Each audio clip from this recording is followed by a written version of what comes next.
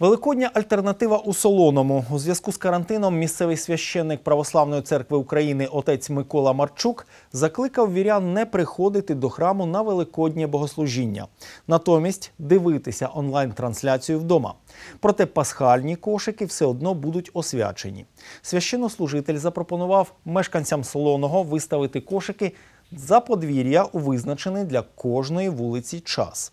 Графік опублікували на Фейсбук-сторінці храму. Зранку та до пізнього вечора священник буде освячувати великодні кошики біля кожного двору.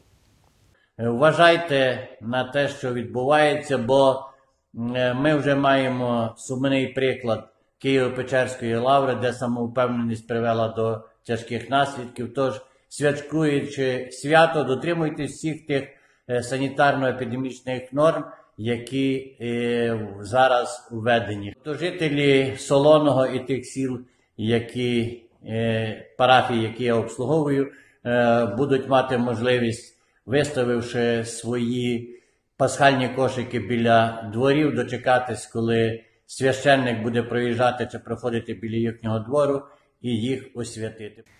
Освятити всі паски ще до того, як придбають клієнти, вирішили у соціальній пекарні Мама Перша.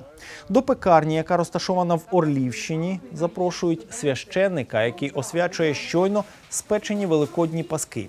Кажуть, усе для того, щоб люди якомога менше виходили з дому під час карантину. Вчора спекли, сьогодні освятив, і сьогодні закази замовлення поїхали Україною. Пакуємо і новою поштою відправляємо. І е, багато замовлень, які від пекарні саме додому до людей. Додержуємося того, що, що не потрібно зараз нікуди йти. Як би ти не вірив, е, ну по-перше, інших людей наражати на небезпеку заразитися. Е, по-друге, ну просто і, і самі в ризику. Нагадаю, що всі кошти, виручені за продукцію соціальної пекарні, ідуть на зарплатню жінок, які там працюють. Це мами, які опинилися у складних обставинах, і це їхній єдиний заробіток. Отже, заходьте на сторінку пекарні Мама Перша, замовляйте паски, тістечка або печиво, смакуйте і водночас робіть добру справу.